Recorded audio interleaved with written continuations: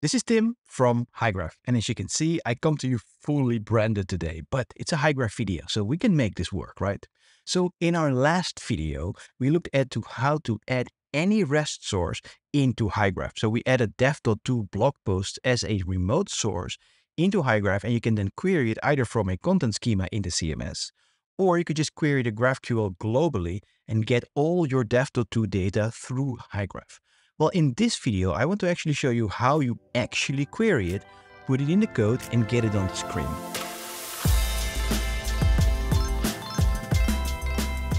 And so I'm using Nuxt 3 for this example because it's my personal website, but don't worry, if you don't use Nuxt but you use Next or Astro or anything else, there will be other videos in this series that show off different frameworks. Alright, let's go into the browser so we can have a look at what we are working with today. So as you can see here, I have my query already set up and it's looking at my username, how many items I want per page, and then also a collection ID. That's something that dev.to has. You can make different collections that are series. And in this case, these are just my work blog posts. And for these items, I get a whole bunch of things back. We saw this in our previous video, so actually have a link in the description or one of the cards up here to watch that video. So now that we know that this exists, let's actually have a look at our code. And so this is an out-of-the-box Nuxt 3 setup with a few modules added. So there's nothing super fancy going on. What we need to especially look at is this. So this is the Nuxt GraphQL client. Let me just zoom that in for you, uh, like this. And um, this does a whole bunch of lovely code generation magic, TypeScript magic. There's not that much you have to now add yourself for GraphQL to just work out of the box. This is really an excellent module. And so the way it works, I don't have any options here, as you can see. So I just have an environment variable to my GraphQL host, which goes to my Hygraph fast performance endpoint. And other than that, what you can do is you can actually make a queries folder. And inside queries here, I have articles.graphql. And this is kind of all you need for this module that when you start running Nuxt, it looks at this, it does introspection of your endpoint of Hygraph, and it makes functions for you, code gen, TypeScript, lots of fun stuff. And so as you can see, this is a very similar query to the one we just saw in the browser, right? So we have the username per page, collection ID. Here they're variables, of course, and then whatever we want to get back. And this is the beauty. When I now hit start and run Nuxt, which is currently is doing, you can actually go into the Nuxt folder and you see there's this GraphQL folder here now. And so inside, it actually created a bunch of types, right? The articles query, the articles query variables, our username per page and collection ID. And then when you actually look here, it actually made a module for Nuxt that exports my functions, GraphQL articles. When I fire this function with the right parameters, it will do the query for me and there's nothing else for me to do. This is just awesome and magical. So um, let's go to the articles page here.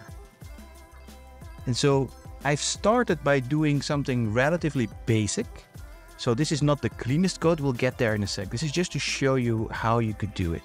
And so from that GraphQL module that we just saw, we can just grab our variables types and then make some options.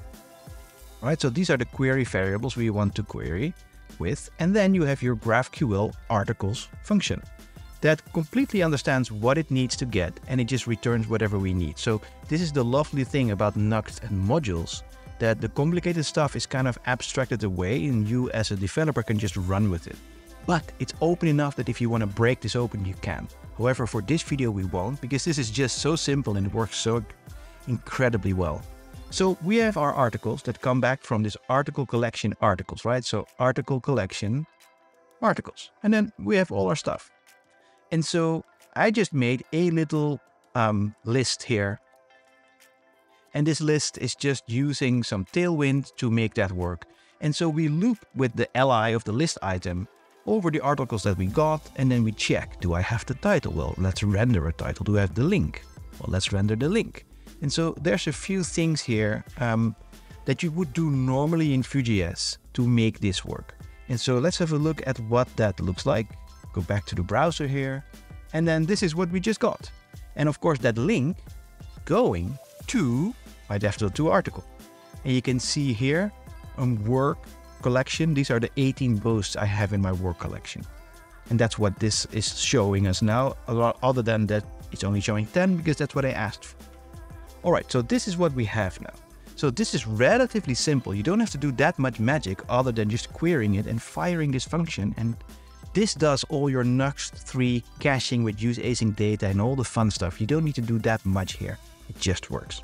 So let's see how it can actually look slightly cleaner. So let's remove this one.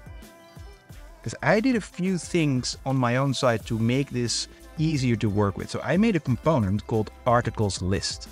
And let's, well, when you refresh now, you see it's a little bit more rich. It has a few more things because that's what I wanted. I wanted the date and this design and there's like work articles and the see all link will actually go to this dev.to. And so let's have a look at what this articles list actually does. I'll go to components, articles list. So it has a bunch of props, right? Because I might want to show how many page do I want in this list. Do I need a title for the list? Do I need to show more? Like there's a whole bunch of things that are just normal Vue related things.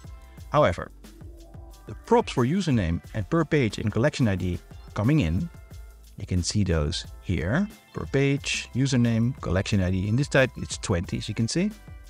And then what I've done is I made another composable myself um, that makes this thing a little bit cleaner to look at, right? I want to get articles and, you know, give me the articles query with the options I'm giving it now. And there's nothing else I do here. And the rest is just, you know, rendering the list and I have an article card. In that card itself, render some stuff with a date that makes it more fancy, and just it does, you know, um, lazy loading images. This is just relatively simple HTML here. But where the magic is, is actually this one. Uh, where were we? Not article card, but in the article list, we have this extra composable. So let's have a look at that. So I have a use GraphQL query composable. And in this one, I know all the queries I have because I literally wrote them here in this folder, right? And I get all the types for the variables. And this thing can get page, talks, videos, and articles. And it has a bunch of different property types as well. And so I kind of just wrap this in a super simple if. And so if it's articles, do this, you know, query articles with the proper variables and get the stuff back that I send into it. But the lovely thing is here, I just make a data prop that kind of traverses into the array. So I don't have to do that in the front end of my code. So all the, you know, the smartness of how you query things just happens here. So if I were to write unit tests, which I likely will, I have to do that here. That's it. And then so my articles list is super simple. Just add some props to this thing and run with it. So this is the Nuxt way, or th there's a few ways, of course, in Nuxt, but this is such a simple and elegant way. Um, this is great, this way to, to call Hygraph, because when you have a look at that, there's articles, there's pages, there's a playlist for my YouTube videos, there's talks. All the information about what I query is here, and then I have a few functions and ready to rock.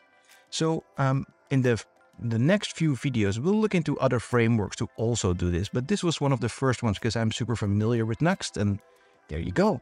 Anyways, that's what I wanted to show you today. And feel free to join us in our Slack community at slack.hygraph.com to talk about all this stuff and do not miss out on like new things we're pushing out and product updates and all of that stuff. Anyways, happy coding. Cheers.